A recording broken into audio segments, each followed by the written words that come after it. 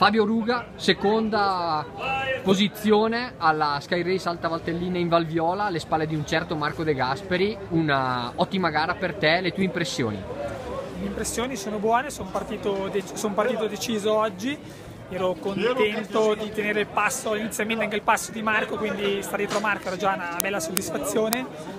Poi nella discesa Marco è nettamente più forte, è un fenomeno in discesa ho provato a tenerlo, però pian pianino si è creato un piccolo gap che è andato aumentando verso il finale della gara. Poi Marco nel tecnico comunque molto bravo, io provavo a tenerlo e sono già contento così comunque oggi. La stagione prosegue, quali sono i tuoi obiettivi immediati? La stagione prosegue, l'obiettivo immediato diciamo che sarà la seconda prova del campionato italiano che comunque sarà ai primi di agosto e lì proveremo un po' a migliorare la condizione fisica per un, cercare una maglia per il mondiale se ce la facciamo. Grazie Fabio.